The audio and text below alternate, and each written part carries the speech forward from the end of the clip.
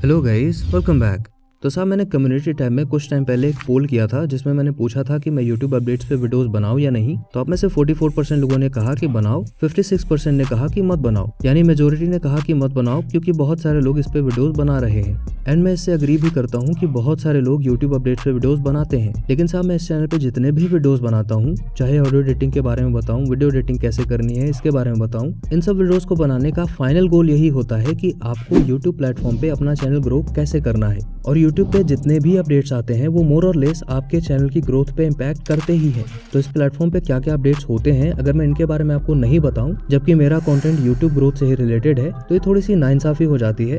तो इसलिए मैंने डिसाइड किया है कि अब से मैं अपने चैनल पे यूट्यूब अपडेट्स पे भी वीडियोस बनाऊँगा ताकि जो लोग मेरे वीडियोस रेगुलरली देखते हैं उनको इन सब चीज़ों के लिए किसी और चैनल पे ना जाना पड़े उनको सारा इन्फॉर्मेशन मेरे ही चैनल पे मिल जाए। तो आई होप कि आप इसको समझेंगे और मुझे उसी तरह से सपोर्ट करेंगे जैसे आप अभी तक करते आए हैं। नौ बात कर लेते हैं कुछ अपडेट्स की जो यूट्यूब की तरफ़ से अभी आए हैं।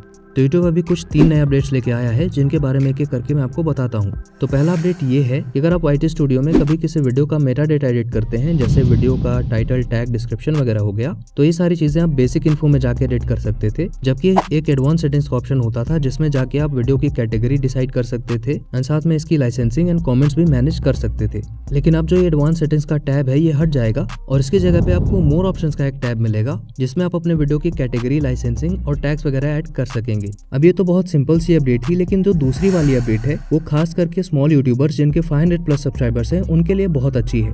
और वो ये है कि अब अगर आपके चैनल पे 500 प्लस सब्सक्राइबर्स हैं तो आप किसी भी चैनल को अपने वीडियो के टाइटल और डिस्क्रिप्शन में मेंशन कर सकते हैं। जैसे आप एट द रेट लगा के किसी भी चैनल का नेम लिखते हैं तो ये आप मेंशन तभी कर सकते थे, यानी इसका कलर ब्लू तभी होता था जब आपके थाउज़ेंड प्लस सब्सक्राइबर्स होते थे। लेकिन अब अगर आपके फाइव प्लस सब्सक्राइबर्स भी हैं तो आप किसी भी चैनल को अपने वीडियो के टाइटल और डिस्क्रिप्शन में इस तरह से एट रेट लगा के मेंशन कर पाएँगे।